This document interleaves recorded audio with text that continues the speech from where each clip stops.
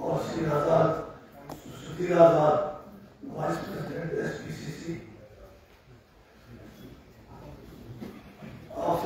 हैं हिमाचल प्रदेश में एक बड़ी साजिश सरकार को गिराने का हर किस्म का जो है नापाक कोशिश की गई और अब ये स्पष्ट हो गया है कि इस नापाक इरादे के पीछे भारतीय जनता पार्टी का हाथ रहा अभी जो एक केस इसी पीरियड में जो दर्ज हुआ है जिसमें जो है आपके जो बालगंज थाने के अंदर हुआ है जिसमें जो निष्कासित विधायक उनके परिवारजनों के ऊपर भ्रष्टाचार कानून के तहत जो केस दर्ज हुआ है और उस इन्वेस्टिगेशन में ये बात स्पष्ट हो गया है कि जितने भी निष्कासित जो विधायक थे और साथ में जो निर्दलीय थे, इन सबको जो है एक बड़ी साजिश के तहत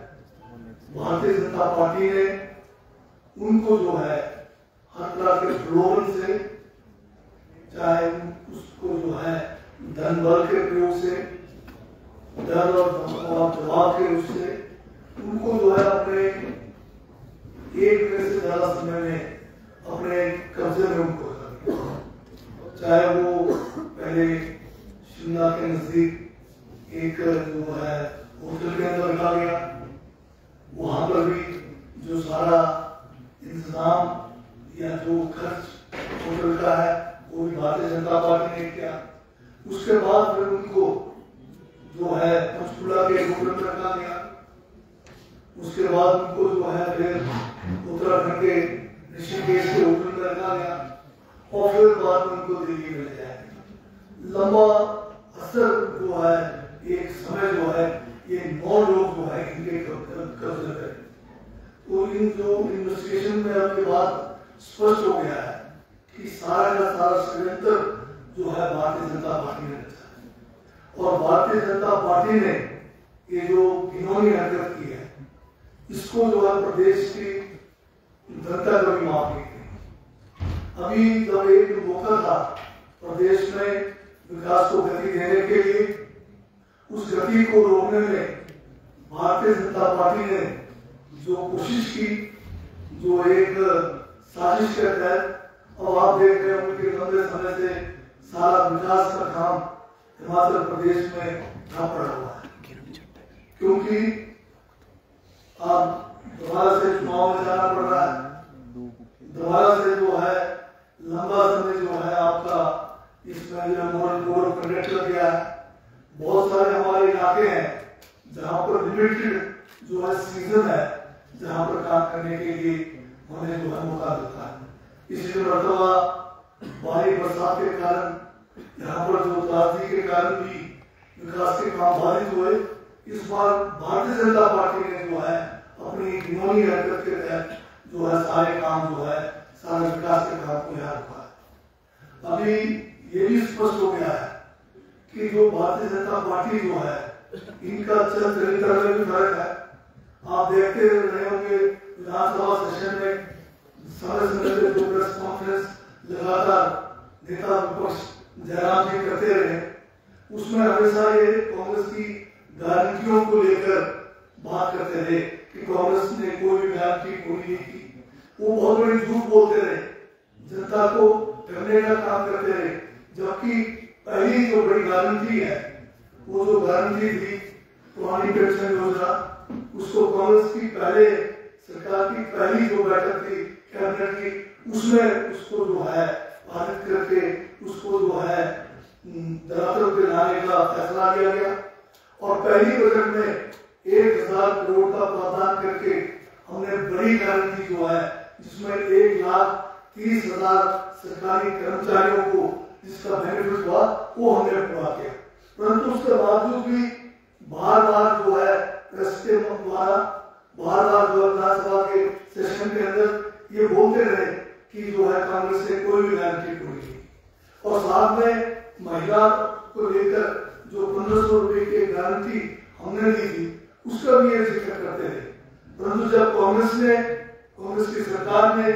इस योजना को शुरू किया, पंद्रह सौ रुपए महिला को देने का न केवल घोषणा की,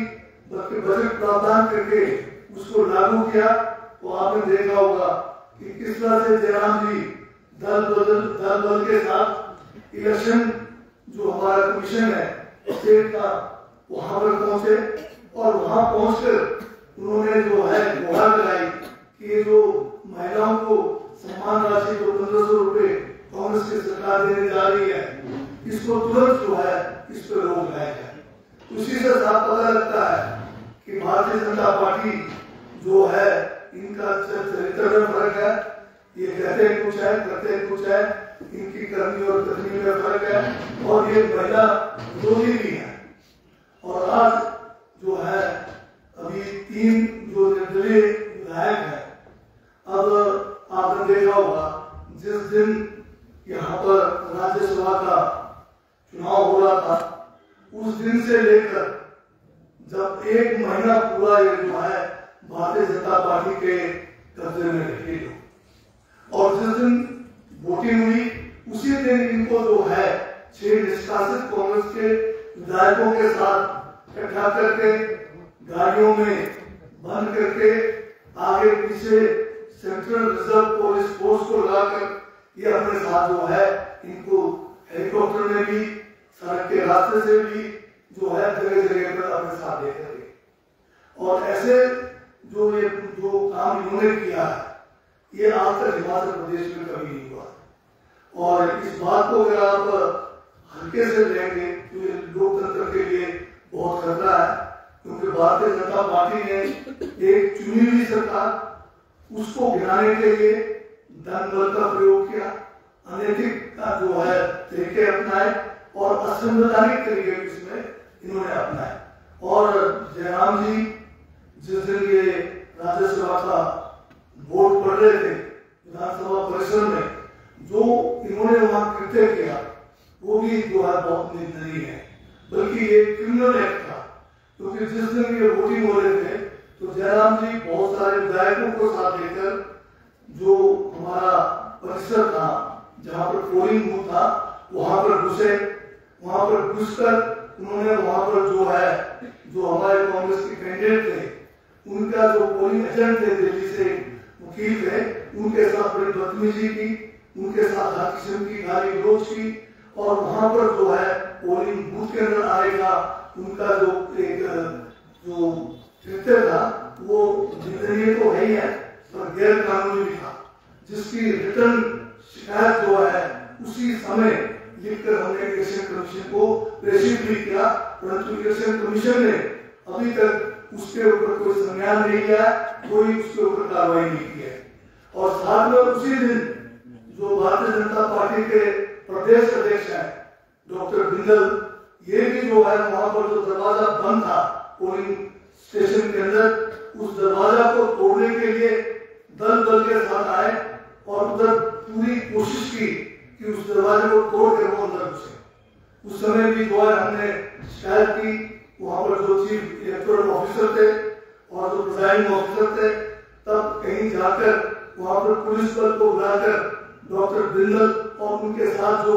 दर्जन भर लोग जो वहाँ पर गलत काम कर रहे थे कानूनी कार्य कर रहे थे, वो पोलिंग में बारात पहुँचा रहे थे, उनको जब उन्होंने वहाँ से खदेड़ा तो इस किस्म की हरकत जो है, भारतीय जनता पार्टी वाले कर रहे हैं, जो इस देश के लोकतंत्र के लिए घातक है। अगर यही अगर चलता रहेगा तो आने वाला समय इस देश में लोकतंत्र नहीं रहेगा, संविधान के तहत कोई काम नहीं होगा। ये देश दोबारा से जो है, एक गुलामी की ओर अग्रसर हो रहा है, इसकी हमें चिंता करनी है। दूसरी बात, बहुत ज़्यादा आजकल एक कहना शुरू कर दिया कि निर्दलीय विधायकों का जो है, इस्तीफा मंजूर नहीं हुआ हमने स्पीकर महोदय को लिखित में ये शिकायत की है कि जो तीनों विधायक है निर्दलीय इनका इस्तीफा जो है, वो इच्छा से नहीं है। ये किसी दबाव के तहत तहत हो रहा है किसी प्रलोभन के तहत हो रहा है। और उसका हमने शहर के अंदर एक एक दिन का हवाला दिया है कि किस तरह से ये जो है, पिछले तीस दिनों से, इस्तीफा से पहले पिछले तीस दिनों से, किस तरह से ये बीजेपी के कब्जे के, कब्जे में है और साथ में जिस दिन इस्तीफा देने आए, उस दिन भी जयराम जी इनको जो है पकड़ कर साथ में लेकर आए तो ये तो प्रेस के साथियों ने भी देखा है, कैमरे के सामने आपने देखा होगा। अगर ये तीनों निर्दलीय अगर स्वेच्छा से दे रहे होते तो एक महीने ये जो है अपने चुनाव क्षेत्र नहीं गए, एक महीने से अपने घर नहीं गए तो एक महीने से ये जो कांग्रेस के निष्कासित विधायकों के साथ और साथ में भाजपा के दो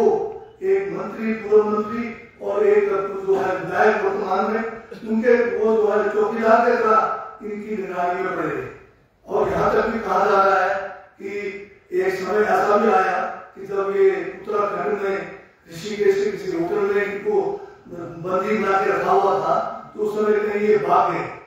और वहाँ से इनको जो है सीआरपीएफ वाले पकड़ के ये भी खबर जो है आजकल जो है चारों तरफ़ फैला हुआ है। तो ये जो है इनके जो हमारे विधानसभा के अध्यक्ष हैं, उन्होंने जो है संज्ञान लिया है हमारे शिकायत पर, उसके ऊपर इंक्वायरी करने का पूरा अधिकार है और वो कानून है और इंक्वायरी होनी चाहिए। कहीं ये जो है, चुनाव में जो है, इस तरह से जो है, इनको ज़बरदस्ती लगाया जा रहा है। क्या इनसे ज़बरदस्ती जो है इस्तीफा दिया जा रहा है? तो जब इनको क्या जल्दी पड़ी है? इनका जो इंक्वायरी होने दीजिए साक्ष्य सामने आएँगे। और ये पता लगेगा कि ये इनका आचरण जो है, स्वेच्छा से है, या किसी दबाव के तहत तो नहीं है, या कहीं कोई धन का प्रयोग तो नहीं हुआ है। ये सारी बातें जो है इंक्वायरी में आ जाएगी और इंक्वायरी होने पर ही इस इनका इस्तीफा जो है, नियमों के अनुसार मैं समझता हूँ कि माननीय अध्यक्ष महोदय जो इसको स्वीकार करेंगे। तो जो प्रदेश की जनता को ये जानने का पूरा अधिकार है कि इनका इस्तीफा स्वेच्छा से है या नहीं है, ये जाने का पूरा अधिकार पूरा जनता को है और उसको कोई रोक नहीं सकता है। अभी एक और हरकत भारतीय जनता पार्टी करने जा रही ये तो है गवर्नर मोदी को भी इस कांड के अंदर घोषित किया है। गवर्नर मोदी के पास जाकर उन पर दबाव डाल रहे हैं भारतीय जनता पार्टी के लोग कि आप स्पीकर साहब को कहिए कि इनका इस्तीफा जल्दी से मंजूर कीजिए। आप जानते हैं कि भारतीय संविधान में गवर्नर का जो अपना अलग जो है, इनका जो पोस्ट है, वो अलग है स्पीकर अलग है, और इसी तरह से हर एक का कार्य क्षेत्र भी संविधान ने बांट कर दिया है जो गवर्नर का कार्य क्षेत्र है या जो माननीय स्पीकर का कार्य क्षेत्र है वो अलग है और एक दूसरे से जो है ये बिल्कुल जो है इंडिपेंडेंटली काम करते हैं और इस किस्म की दबाव की राजनीति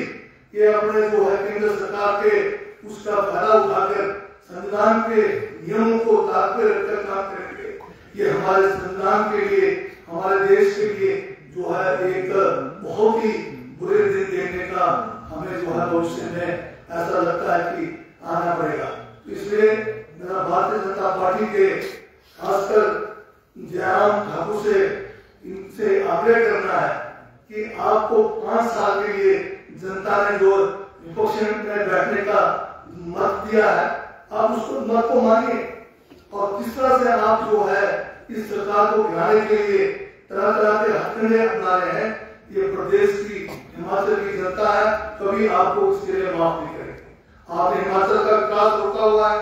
आपने महिलाओं का